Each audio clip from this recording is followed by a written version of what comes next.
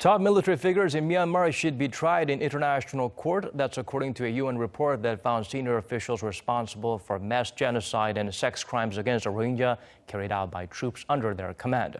Last year, Myanmar's military launched a crackdown on the ethnic minority after militants known as the Arakan Rohingya Salvation Army attacked police posts. The government claims the operations targeted militant threats, but the fact-finding report lists the military's tactics as grossly disproportionate. The UN noted the country's de facto leader Aung San Suu Kyi failed to intervene to stop the violence.